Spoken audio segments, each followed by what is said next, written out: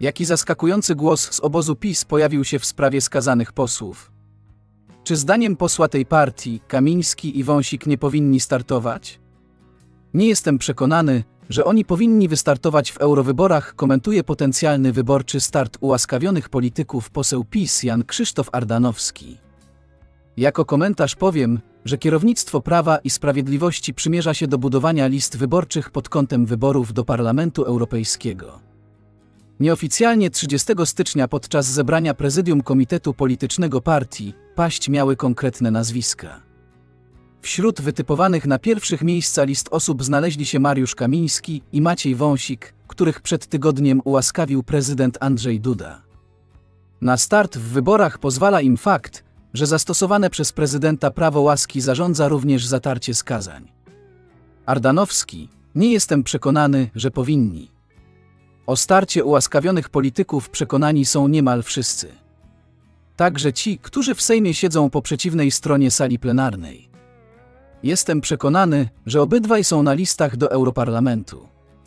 Jestem dzisiaj w stanie się założyć z każdym o dużą nagrodę, że Kamiński z Wąsikiem startują do Europarlamentu i tam będą pokazywali, że byli więźniami politycznymi, twierdził chwilę po ułaskawieniu wicepremier Krzysztof Gawkowski.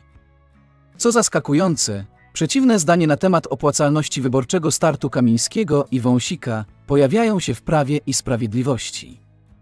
Mamy z jednej strony przekonanie, że Kamiński z Wąsikiem walczyli z korupcją i za to należy im się nagroda, a z drugiej strony mamy konkretne zarzuty związane z aferą gruntową, powiedział w rozmowie z Super Jan Krzysztof Ardanowski, poseł PiS. Poseł zaleca partii refleksję. Jak dodał, nie jest on przekonany, że politycy powinni wystartować w eurowyborach. To będzie jednak kierownictwo partii decydowało, ponosząc wszelkie konsekwencje tego wyboru, ocenił zalecając kierownictwu refleksję nad tym, co doprowadziło do utraty władzy. PiS musi przemyśleć bardzo poważnie przegrane wybory i zastanowić się nad swoją przyszłością w polityce, jeśli idzie o działalność długoterminową.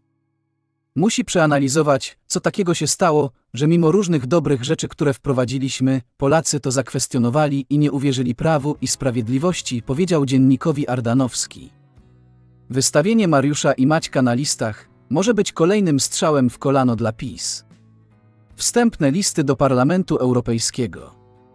Jeśli jednak kierownictwo partii nie posłucha jego rad, a ostateczne pozostaną nieoficjalne listy z ostatniego spotkania Komitetu Politycznego, to Mariusz Kamiński otworzy listę na Lubelszczyźnie, a Maciej Wąsik na Mazowszu. Na pierwszych miejscach list znaleźć się mają także Daniel Obajtek, któremu przypadłoby województwo podkarpackie, oraz Małgorzata Gosiewska startująca w Warszawie i kilku przyległych jej powiatach. Za Kamińskim na liście znaleźć miałby się Przemysław Czarnek, a za Obajtkiem Zbigniew Ziobro. Czy twoim zdaniem polityk PiS ma rację? Czy Kamiński i Wąsik nie powinni się znaleźć na listach do Europarlamentu? Dziękuję, że jesteś, subskrybuj kanał, trzymaj się i do usłyszenia.